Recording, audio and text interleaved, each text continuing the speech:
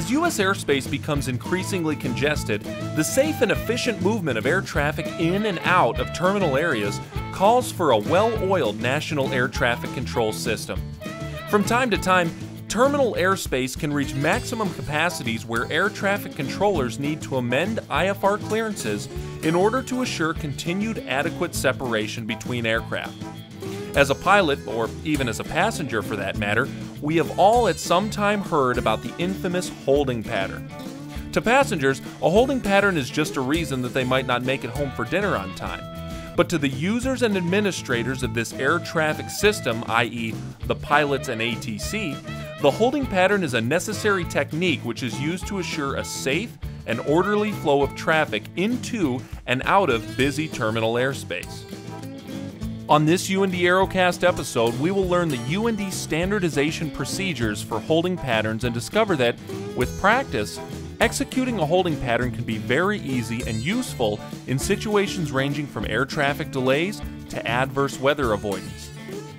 According to the UND Warrior, Arrow, Seminole, and SR 20 standardization manuals, the objective of holding is to achieve the skill and knowledge required to enter and remain within a published or non published holding pattern.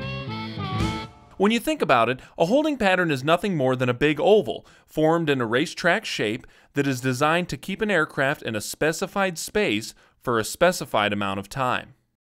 A holding pattern can be published on either airway charts or terminal charts, or can be unpublished and specified by the air traffic controller. A typical pattern is defined by the fix on which the pattern is based. Simply put, a fix is a stationary point. It could be a VOR, radial DME, NDB, intersection, GPS waypoint, anything that can define a navigable point in space. The racetrack portion of the pattern is made up of four components the inbound leg, fix end, outbound leg, and outbound end. Under zero wind conditions, the two legs are exactly parallel and the pattern ends connect the legs via a 180 degree turn. Unlike a VFR traffic pattern, a standard holding pattern is one with a right hand turn direction and includes a timed inbound leg. In a standard holding pattern, the inbound leg is 1 minute long, 14,000 feet and below, and 1.5 minutes long, above 14,000 feet. And while the anatomy of a holding pattern is rather straightforward, pilots are often challenged with pattern setup as it relates to non published ATC holding clearances. Take this clearance for example. Sioux 55, proceed direct to the Grand Forks VOR, hold southeast on the 150 degree radial, left hand turns, 5 mile legs, expect further clearance 1355 Zulu. In this clearance, most likely due to operational restrictions, ATC has deemed it necessary to clear the pilot for a non published and non standard hold. An ATC holding clearance will always include the name of the fix, the cardinal direction of the inbound leg from the fix, any applicable radials or bearings that define that inbound leg, turn direction if non standard, leg length if non standard, the expect further clearance time, and any further applicable notes. It is the PIC's responsibility to copy and comply with the clearance or to advise ATC if unable. So, with your kneeboard, how would you, as the pilot, draw this pattern? Well, let's take another look at the clearance. The pilot was cleared direct to the Grand Forks VOR, so that's the fix. ATC then specified that the pilot should hold southeast on the 150 degree radial. So that leg should be drawn from the fix in the specified direction. Since it was a non standard pattern, ATC advised the pilot that it would be left hand turns and 5 mile legs. Once the pattern is visualized, the pilot can then decide his or her position from the fix and how to enter the hold. The Aeronautical Information Manual, or AIM, describes three different pilot tested entry techniques the direct, parallel, and teardrop entries. The determination for which technique to use can be based on any of three sectors, which are defined around the holding pattern by extending the inbound leg and drawing a line to lop off a section of the fix end. This leaves the pilot with three sectors a 70 degree sector for a teardrop entry, a 110 degree sector for a parallel entry, and a 180 degree sector for a direct entry.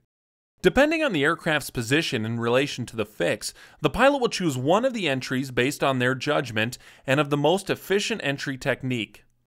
A direct entry is performed by crossing the fix and then entering the pattern by immediately turning to the outbound leg.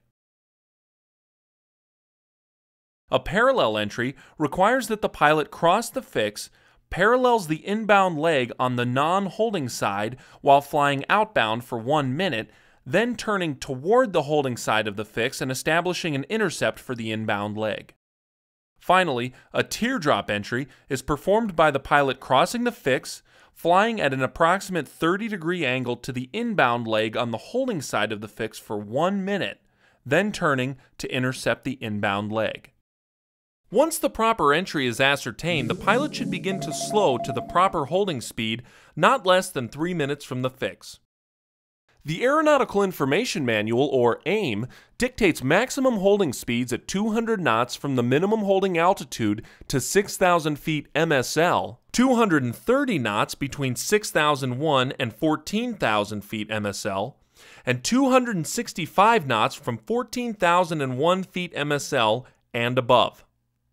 At UND Aerospace, each aircraft has a standardized recommended holding speed. In the Piper Warrior, holding should be executed at 100 knots. In the Arrow, at 100 knots, the Seminole at 110 knots, and the Cirrus SR 20 at 120 knots.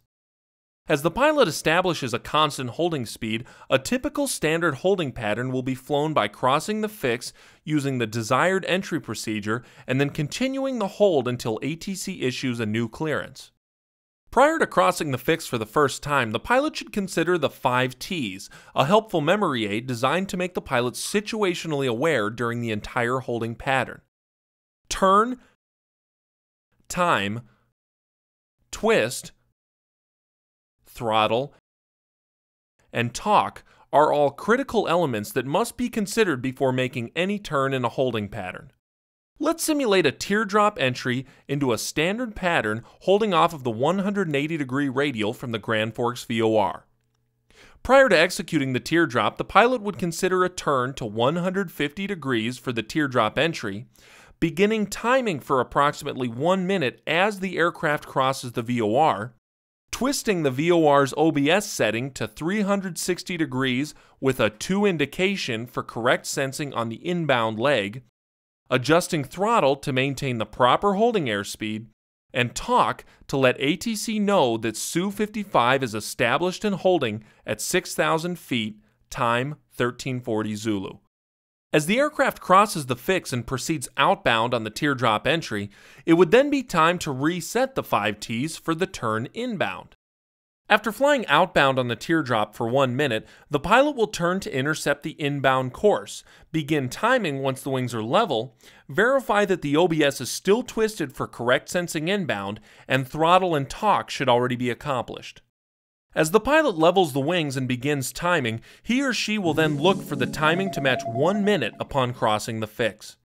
The pilot will then turn to the outbound leg after considering a new set of 5 Ts, time for 1 minute outbound in a zero wind situation, and consider a new set of 5 Ts and turn inbound once again and fly back to the fix for a complete 1 minute standard holding pattern. Timing on the outbound leg will always start when the airplane is directly abeam the fix. In the case of this VOR hold, the pilot would know he or she has crossed the abeam point as the to from indication flips in the cockpit. That is the point where outbound timing can be started.